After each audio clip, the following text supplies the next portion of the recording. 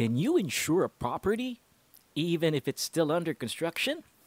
We're going to answer that question and scratch the surface of engineering insurance today. What's up? You're watching Tito Talks, non life insurance discussions with me, your favorite Tito Miguel, who loves to make non life insurance discussions easier to understand for both agents and clients. Maganda, maganda, maganda, maganda, magandang Wednesday evening po sa atin lahat. Thank you so much for tuning in today for another interesting lesson on non life insurance. I hope you are all safe. I hope you are all dry. They raise a couple of storm signals in various areas in the country, so I hope wherever you are, you are underneath shade and you are dry and you are not in fear of drowning in any flood. Now, with that being said, let's go to our question, which we asked last time. Is it possible to insure a property, a house, a building, an office, a church, a theater, even if it has not been fully constructed yet? If there isn't a building to insure, what's there to insure? Ika nga. But the interesting answer to that question is a big resounding yes. You can insure a building even if it's still under construction. You're not insuring the building per se, but you are insuring the project. And for these types of projects, you can either go into a contractor's all risk insurance or an erection all erection all risk insurance policy. Now, both of these types of insurances fall under a certain category of a larger branch of insurance known as engineering insurance, which is what we'll be tackling today. Now, when you see the term engineering insurance, you'll probably start thinking about skyscrapers, right?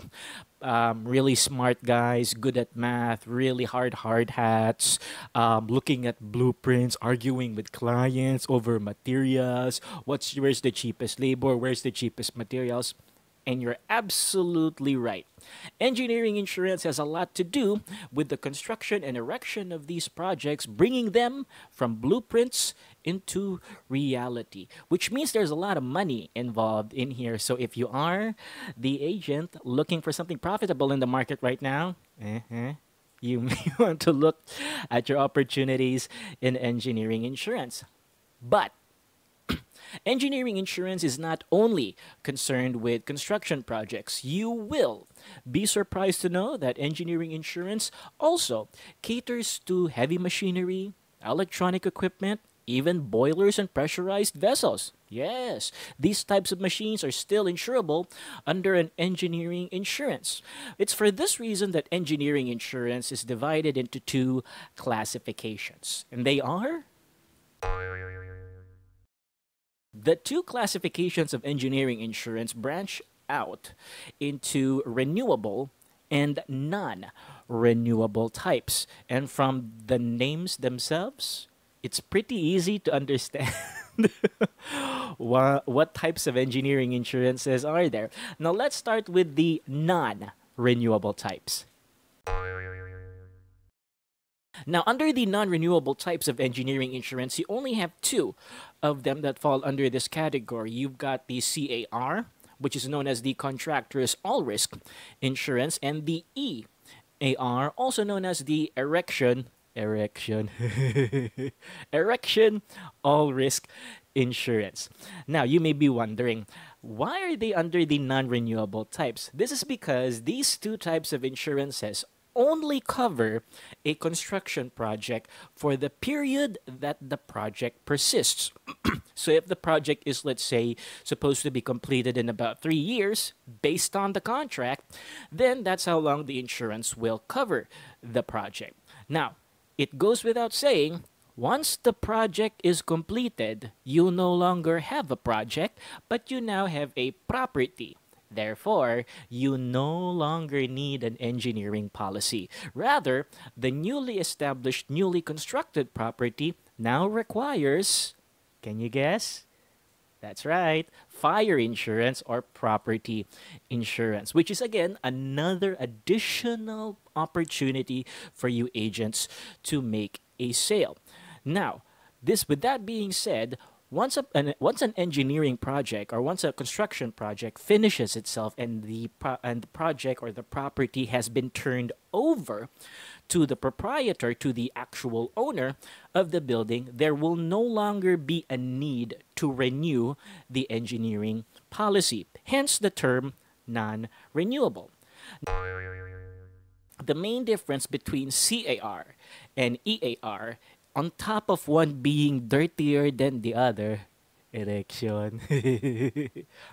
on top of one being a sounding dirtier than the other. The main difference between CAR and EAR are the types of projects to which they are supposed to insure.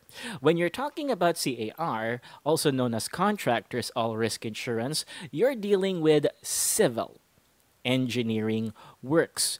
Well, Miguel, what are civil engineering works? Are these polite engineering works? Ha ha ha, very funny, Miguel. No, that's not what we mean by civil engineering works, rather, civilian engineering works. Structures to be used by the general, uh, to be used, enjoyed, and perused by the general public.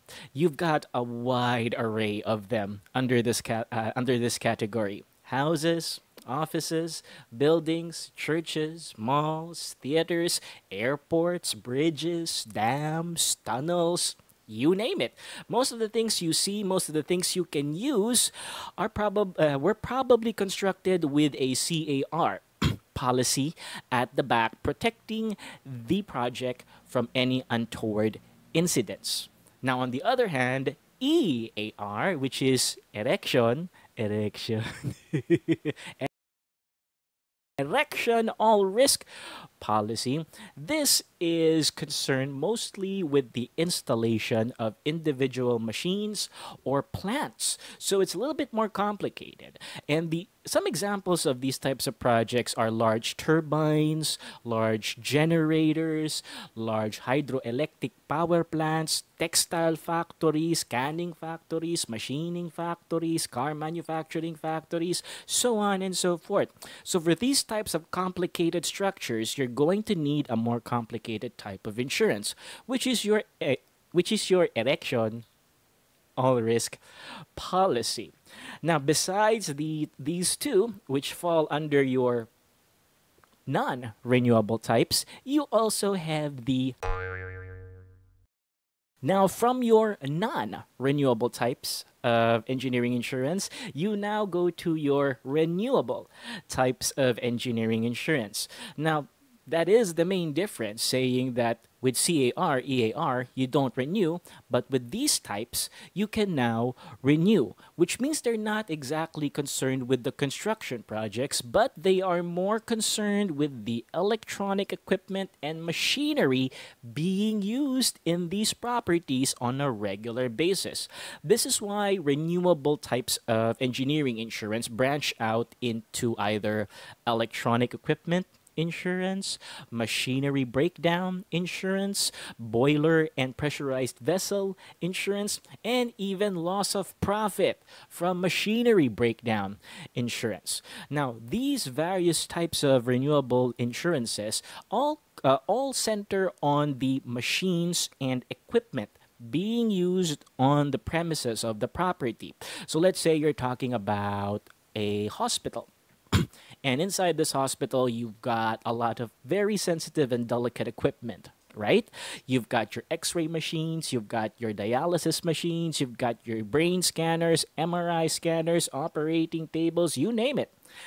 There's probably a lot more medical equipment that I can't even name inside the hospital. And all of these would require a special type of insurance that covers them if, in case they get damaged and they need to be replaced uh, replaced. So, with that being said, the main uh, the main idea behind engineering insurance to open your eyes is not just concerned with the construction of a building, but it is also concerned with the individual electronic equipment, and machinery located in the buildings long after the building has already been completed. And if you do open up your eyes and find hospital owners, contractors, building owners, office owners, there are opportunities waiting for you to offer engineering insurance in its various forms. Now, I hope you enjoyed that session as much as I enjoyed giving it to you today. Let's go to our question of the day, which shall introduce us to our next very interesting topic. Is it possible for a policy to have no coverages? Hmm, what do you think? Let me know what you feel in the comments. Tell me how you feel about it. Leave me a like, leave me a comment, and don't forget to subscribe to our channel. It's free and it helps our channel grow even bigger. Let me repeat that question one more time. Is it possible for an insurance policy to have no coverages? While it sounds interesting, you'll be shocked to find out this coming Friday when we resume Tito Talks once again. So thank you so much for attending this special lesson of Tito Talks. Once again, this is your favorite Tito Miguel, always saying, I hope you enjoy the rest of your day.